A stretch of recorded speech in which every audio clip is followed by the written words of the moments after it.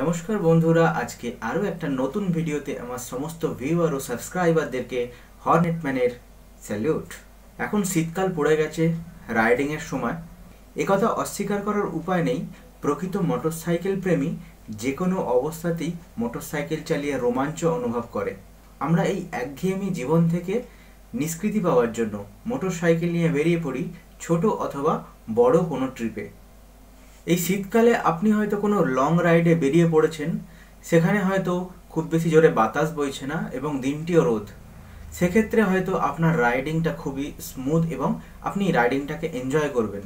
কিন্তু ব্যাপারটা যদি হয় অন্যরকম, ধরুন আপনি শীতকালে বাইক নিয়ে বেরিয়েছেন, হঠাৎ করেই ওয়েদার খুব কোনো কারণে ঠান্ডা হয়ে গেল অথবা বৃষ্টিপাত বা তুষারপাত শুরু হলো, সেক্ষেত্রে কিন্তু আপনার রাইডিংটা বেশ পেনফুল হবে।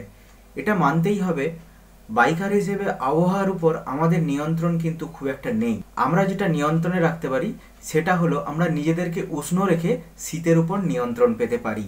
তো আজকে পাঁচটা পয়েন্টের মাধ্যমে আমি আলোচনা করব শীতকালে বাইক চালানোর সময় নিজেকে কীভাবে আপনি উষ্ণ রাখবেন। তো চলুন ভিডিওটা শুরু করা যাক, আর শুরু করার আগে একটাই রিকোয়েস্ট যদি আপনি এই চ্যানেলটা এখনও পর্যন্ত সাবস্ক্রাইব না করে থাকেন, তো অবশ্যই চ্যানেলটা সাবস্ক্রাইব করুন। সাবস্ক্রাইব করার পরে নিচে বেল বাটনে গিয়ে অল অপশানে গিয়ে ক্লিক করে দিন। আর এই ভিডিওটা শেষ পর্যন্ত অবশ্যই দেখুন। দেখার পরে যদি ভালো লাগে, একটা লাইক দেবেন, যদি ভালো না লাগে ডিসলাইক দেবেন। আর অন্যের প্রয়োজনে এই ভিডিওটা শেয়ার করুন।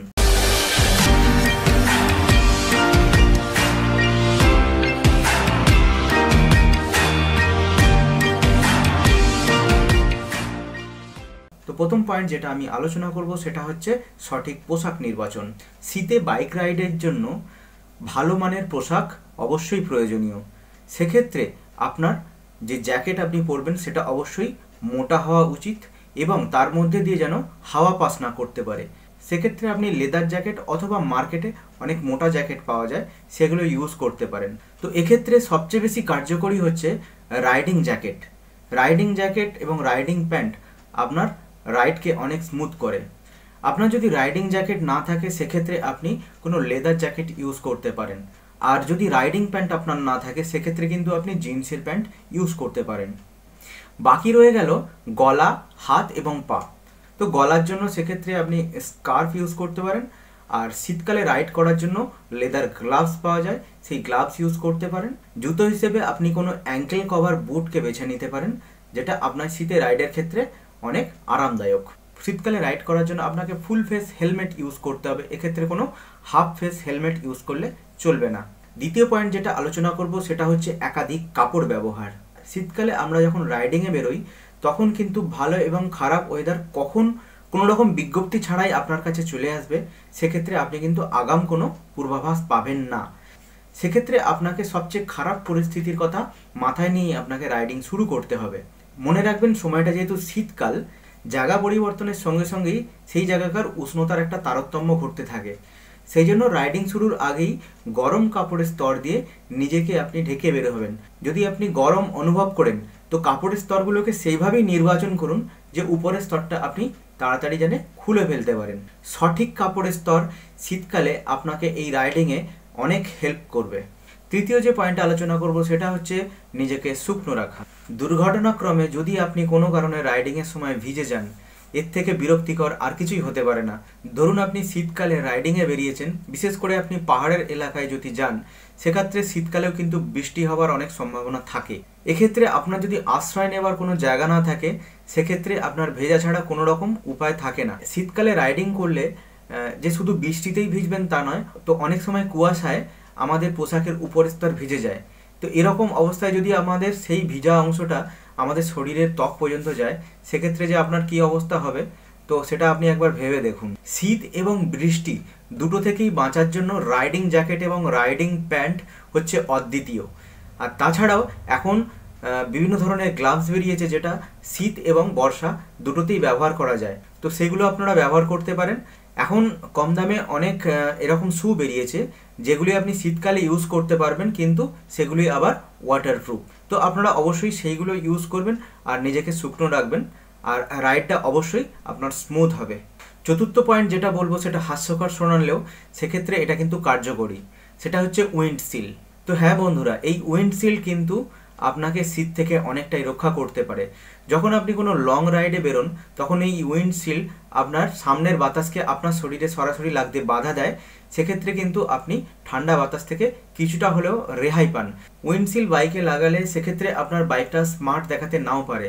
যখন উইন্ডশিল আপনার কোনো কারণে প্রয়োজন হবে না, তখন সেই উইন্ডশিল আপনি খুলেও রাখতে পারেন। তো বাজারে এই ধরনের উইন্ডশিল এখন এসে গেছে, যেগুলো আপনি প্রয়োজন মতো লাগাতেও পারেন এবং প্রয়োজন মতো খুলেও রাখতে পারেন সেটাও খুবই সহজে।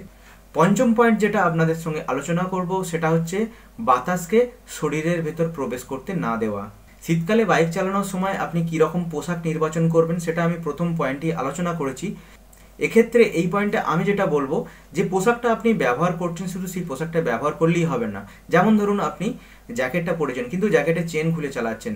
সেক্ষেত্রে কিন্তু আপনার শরীরের মধ্যে বাতাস ঢুকতে পারে। আপনি ধরুন জ্যাকেট পরেছেন, জ্যাকেটের হাতাটার এখানটায় ফাঁক আছে। সেক্ষেত্রে জ্যাকেটটা আপনাকে কিন্তু অ্যাডজাস্টার দিয়ে টাইট করতে হবে। আর আপনি সবসময় এরকম পোশাক নির্বাচন করুন যেন সেই পোশাকের কোনো ওভারল্যাপ থাকে। এক্ষেত্রে কি হবে? বাইরের বাতাস যেমন ভিতরে ঢুকতে পারবে না, ভিতরের গরমটাও বাইরে যেতে পারবে না। আর বাইক চালানোর সময় অবশ্যই হেলমেটের কাঁচ বন্ধ করে চালাবেন, তাহলে আপনি হাওয়ার থেকে নিজেকে রক্ষা করতে পারবেন। এই ভিডিওতেও আপনাদের জন্য একটা বোনাস পয়েন্ট কোনো জায়গায় রাইড শুরুর আগে সেই জায়গাকার আবহাওয়া সম্পর্কে আগে ভালো করে জেনে নেওয়া। যে জায়গায় আপনি রাইডে যাচ্ছেন, সেই জায়গায় ঠান্ডা কীরকম পড়বে সেই জায়গার আবহাওয়া সম্পর্কে আগে জেনে নিয়ে বেরোলে সেক্ষেত্রে আপনার রাইড অনেক নিরাপদ এবং নিশ্চিত হবে। আবহাওয়া অনুযায়ী সেক্ষেত্রে আপনি সঠিকভাবে আপনার রাইডটাকে প্ল্যান করতে পারবেন এবং আপনি পোশাক নির্বাচন করতে পারবেন। কোনো কিছু না দেখেই যদি আপনি বেরিয়ে পড়েন, সেক্ষেত্রে বৃষ্টিপাত অথবা কুয়াশা অথবা অন্যান্য প্রতিকূল পরিস্থিতি আপনার রাইডকে খারাপ করতে পারে। তবে শীত হোক বা গ্রীষ্ম, রাইডিং প্রিয় মানুষদের কোনো অবস্থাতেই আটকানো যায় না। তবে কোনো কোনো রাইডার শীতকালে রাইড পছন্দ করে, কোনো কোনো রাইডার গরমকালে রাইড পছন্দ করে। তবে রাইডিংয়ের জন্য ফিট থাকতে বিভিন্ন ধরনের সুরক্ষার প্রয়োজন হয়, সেটা শীতকাল হোক বা গরমকাল। আমি এই যে পয়েন্টগুলো নিয়ে এতক্ষণ ধরে আলোচনা করলাম, সেক্ষেত্রে আশা করি এই পয়েন্টগুলো আপনার রাইডিংকে অনেক স্মুথ করবে। তা যদি হয়, অবশ্যই চ্যানেলটাকে সাবস্ক্রাইব করবেন আর ভিডিওটিকে লাইক করবেন। আর ভিডিওটি কেমন লাগল কমেন্ট করে অবশ্যই জানাবেন। দেখা হচ্ছে পরের কোনো ভিডিওয়ে ততদিনের জন্য